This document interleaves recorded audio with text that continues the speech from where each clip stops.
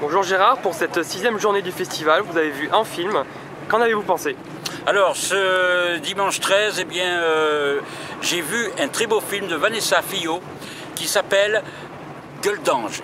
C'est le nom d'une petite fille qui hier a fait vraiment, euh, qui a subjugué le public et qui a fait, qui a volé la vedette à Marion Cotillard. Mais en même temps, Marion Cotillard, qui joue dans le film, Marion Cotillard a un rôle sensationnel. Elle a changé sa voix pour le rôle. On ne la reconnaît pas. On sait qu'elle est capable de performances comme la môme. Et donc là, mais elle est vraiment méconnaissable. En plus, elle est en blonde. Euh, elle fait un petit peu une femme un petit peu sexy, euh, un petit peu bimbo.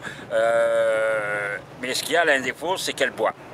Et cette petite fille aussi commence à prendre le chemin de sa mère à, à 10, 12 ans la petite eh bien, euh, imite sa mère parce que sa mère, eh bien, quand même, elle l'aime. Parce que même si sa mère la laisse seule souvent, et donc c'est le fait de la laisser seule pour plusieurs nuits parfois que euh, cette petite fille va rencontrer euh, un garçon qui vit. en plus le film a été tourné à Marseille, on reconnaît les, calanques de Marseille, et donc elle va rencontrer un, homme qui va être apitoyé par elle et elle va le suivre malgré lui. Et donc ils vont sympathiser et pareil, il ne faut jamais dévoiler la fin d'un film, mais euh, en même temps, peut-être que la mère va prendre conscience. Et le fait de prendre conscience de son état, parce qu'au début du film, elle se marie avec Stéphane Rideau, donc ce comédien aussi qui a été révélé au Festival de Cannes avec les films de, de Téchiné. Et donc, du coup, son mariage, tout de suite dans son mariage, elle trompe son mari le jour même. Donc vous voyez, ça commence parce qu'elle était déjà saoule à son mariage. Donc euh, on sent que ça vient de très loin. Et donc euh, par contre, elle, espérait que cet homme allait euh, la sortir de cet état, un état qui est vraiment lamentable, un film qui est vraiment émouvant, éprouvant. Et puis on se met à la place de cette petite fille et on comprend un petit peu, même si on ne sait pas pourquoi la mère boit. Donc ça, c'est peut-être quelque chose qui nous manque dès le départ, mais on comprend que comme le père l'a déjà abandonné quand elle a eu cet enfant, peut-être que ça vient de là, mais le plus important, c'est la relation qu'elle a à ce moment-là avec la fille et avec le chemin que cet enfant prend qu'il euh, ne faut pas que ce soit le même chemin que la mère. Donc c'est vraiment un film, poignant et où tous les comédiens euh, eh eh nous prennent aux tripes et nous prennent au cœur, on peut le dire. Et donc euh, beaucoup de gros plans pour renforcer la scénarisation du film. Voilà pour ce que j'avais à dire sur ce film-là. Et demain, on se retrouvera avec beaucoup plus de films. Parce que demain, je vais faire une journée et ce soir, je vais voir un tas de films. Vous allez voir demain, vous n'allez plus pouvoir m'écouter. On passe à vous, Dante Ouais. Vous, vous étiez à la quinzaine, comme d'habitude J'étais à la quinzaine. Alors, comme d'habitude, à la quinzaine, et avec quel film? Alors aujourd'hui, j'ai vu trois films. J'ai vu Climax de Gaspard Noé. Ah, ça c'est sûrement attendu, ça. Ah oui. Gaspard Noé, Ah. on, se souvient d'Irréversible, Ah oui. on se souvient euh, de, du, film en du titre en anglais là. Du Hunter the Void, et Voilà. de Love et, euh, et Voilà, plein d'autres. dites mieux que moi. Voilà. Et son premier film, c'est vrai que je l'avais rencontré moi pour son premier film, qui était un, un- un moyen métrage, disons, qui s'appelait Carnet. Donc c'est vrai que le public le suit et euh, à chaque fois c'est un événement et, et est-ce qu'il défraie un petit peu la chronique euh, ou pas ou est-ce que Ah. est-ce que c'est polémique ce film aussi? Euh, polémique peut-être parce que c'est un film qui c'est du Gaspard Noé donc c'est très spécial.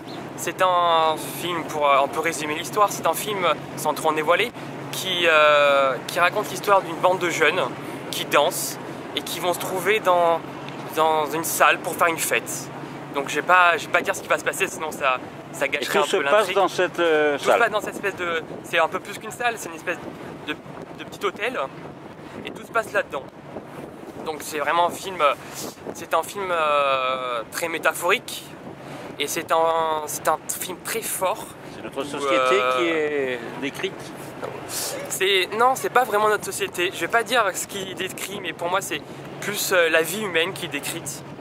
Donc, euh, donc voilà, un film très fort, très pas forcément euh, assez dur quand même parce que c'est du Un Gaspard peu Noé. sexe ou pas? Un peu sexe, mais mo- moins que les autres, moins que Love déjà. Donc euh, il se calme là-dessus et donc voilà. Et Ah, le- il devient vieux. il devient vieux. J'ai vu après Weldy, qui est un film de Mohamed Ben Hatti, qui est un film vraiment très bien, qui, qui parle de la guerre, mais euh, d'une autre guerre, euh, d'une guerre un peu spéciale. Pas vraiment spéciale, mais qu'on n'a pas l'habitude d'entendre parler. Ah. Et qui prend. euh, Quelle guerre ça se passe où?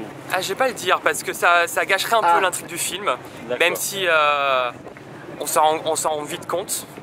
Le Mais film il y a une part de réalité quand même. Oui, il y a tout à, il y a une, une guerre qui grande part. C'est une pas- guerre de nos jours. Donc, euh, et ça prend euh, le regard des deux parents. Et c'est vraiment très beau. C'est, ça diabolise, personne. C'est euh, finalement un film assez réaliste et, euh, et vraiment très fort sur son message et sur ce qu'il raconte. Donc euh, c'est vraiment un beau film. Et avec servi par des acteurs splendides. Et après j'ai vu Live No Trace, de Deborah Granick, qui est un film américain. Et ça raconte l'histoire d'un père et une fille qui sont, qui sont en SDF et qui vivent dans un, dans un parc, dans la nature. Et euh, c'est Ah, un grand parc un alors. grand parc, un parc aux États-Unis. Oui, c'est pas euh, un petit parc de nos Non, c'est pas un petit parc, c'est avec des grands arbres et tout. Donc ils vivent là-bas, ils vivent en Parce que la nature, quoi. C'est la nature. la nature, ils vivent à la rude. Et euh, tout le film va raconter la relation euh, du père et de la fille dans, dans la nature. Ils vont devoir voyager, je vais pas dire pourquoi, mais ils vont devoir voyager. Ah, il dit rien, dans ses chroniques, il dit rien dans Ah, euh, non, je veux pas, je veux pas gâcher l'intrigue, ça serait dommage. Et, euh, et c'est euh, vraiment, c'est un beau film qui raconte euh, euh, les émotions d'un père et une fille qui sont, euh, qui vivent dans deux, deux mondes un peu, enfin, dans le même monde, mais avec des différences quand même. Parce qu'une est jeune et euh, n'a n'a pas d'expérience et l'autre est vieux et a vécu beaucoup de choses. Donc euh, c'est un joli film. C'est un film sur la transmission Euh, on, peut, on pourrait dire que c'est un film sur la transmission, oui, exactement. Et euh, c'est pas que ça, mais, euh, mais oui. C'est un film aussi sur l'acceptation sociale, il y a de ça aussi. Et euh, donc voilà, un beau film. Sur la différence, alors, du coup. Mm. Je vais vous faire parler, je vais finir par vous faire parler, mais bon, voilà. En tout cas, on se retrouve demain pour le dernier jour. C'est Ouais, le dernier jour demain Cannes. dernier jour demain. exactement. Donc, euh, ben, vous allez pouvoir vous reposer après. Ah oui. Et vous allez, donc on va retrouver tous ces entretiens sur Cinézoom, sur YouTube, et également sur la radio du cinéma. Et puis en même temps, vous allez aussi écrire vos critiques parce que écrire et parler, c'est quand même différent. Oui. Et cinéma, cinéma Format est là aussi pour ça, pour vous former à toutes les formes d'écriture au niveau journalistique ou même de la fiction. Mais là, votre stage de journalisme tout ça, touchera à sa fin demain. Ouais. J'espère que vous en avez bien profité. Ah, j'en ai bien profité, ça c'est sûr. Voilà, et que vous allez tenir une, vous avez envie de recommencer et de continuer, puisque c'est, vous vouliez savoir si ce- ces métiers-là vous plaisaient, donc euh, vous nous direz peut-être le dernier jour.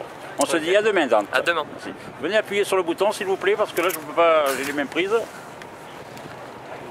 Bon. Il